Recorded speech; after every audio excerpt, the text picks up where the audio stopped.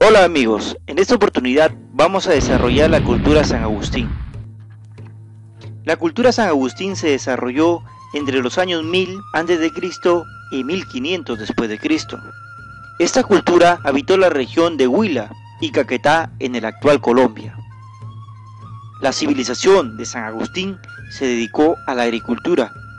Cosecharon una gran variedad de cultivos que incluyen al maíz, la papa, maní y frutas, pero también complementaron su economía con la caza y la pesca. En cuanto a su organización social y política, la sociedad de la cultura agustiniana comprendía varias clases. Tenemos los jefes religiosos, que fueron dirigentes, a los guerreros y la clase popular que estaba comprendida por el pueblo, que practicaba la agricultura, la pesca y recolección.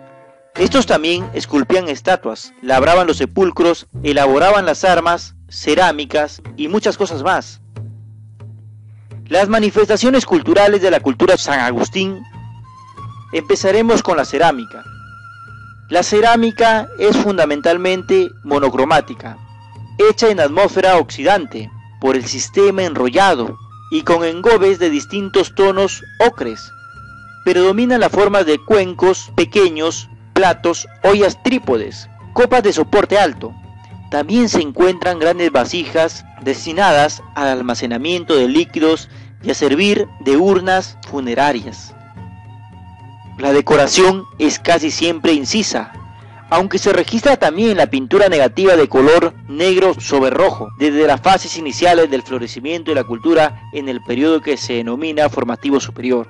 En el periodo final o reciente aparece la pintura positiva bicolor, como también una decoración granulada. Asimismo, los pobladores de la cultura San Agustín eran muy buenos para trabajar con metales y piedras.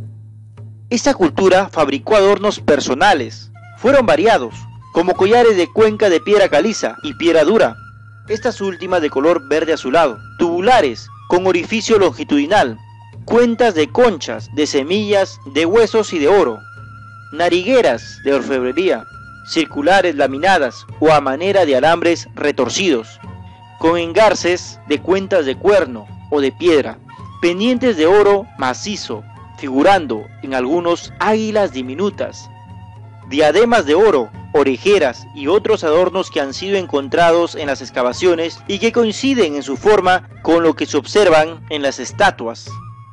Escultura. Más de 300 estatuas han sido halladas, la mayoría en un área que aparece plenamente delimitada por las cuencas de los ríos Magdalena, Bordones, Mazamorras y Sombrerillos y los picos del macizo colombiano.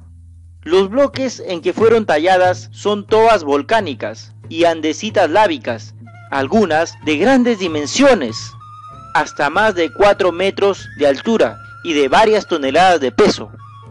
La frecuencia de la representación de la boca felina en la mayor parte de las esculturas es indicativa del culto al jaguar.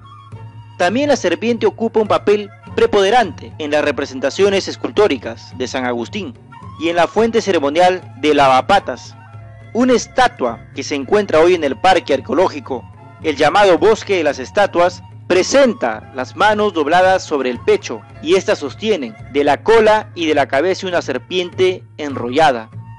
Los elementos que caracterizan esta escultura permiten interpretarla como una divinidad de las lluvias, o como representación de un sacerdote en el momento de invocar el espíritu de la deidad para que se pronuncie en favor del campo o de las cosechas.